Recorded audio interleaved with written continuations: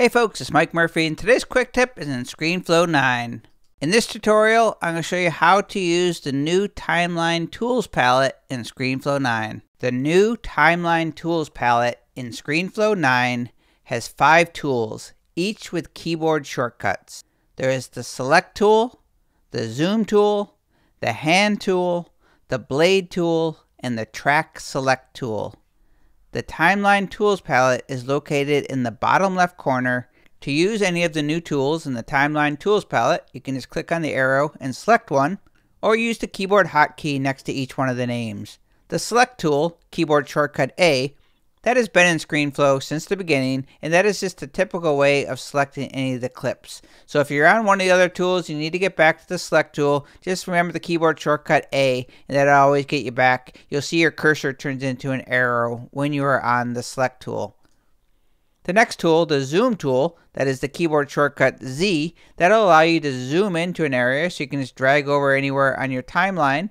You can zoom into that little area. You can also zoom out by holding the Option key. You can just click and it will zoom out on your timeline. The Hand tool, keyboard shortcut H, will allow you to just pan around on your timeline without moving any of the clips. The Blade tool, keyboard shortcut B, you'll see the cursor turns into a razor blade and you'll see that red line as I drag across the clips.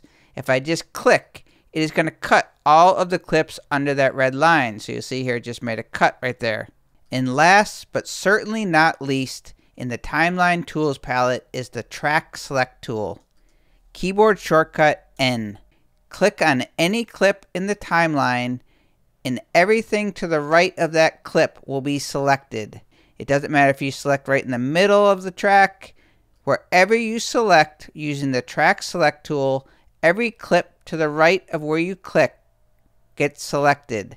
This is really great if you want to select multiple tracks and move them. So I'm going to select a track. You see everything got selected. I'm going to hold the shift key, go to the next track, shift key, shift key.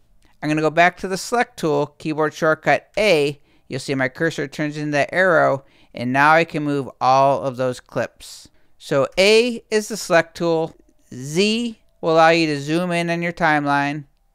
Option to zoom out. H is the hand tool if you just want to pan around your timeline without moving any clips. B if you want to just cut all the clips on the timeline. And the track select tool, keyboard shortcut N.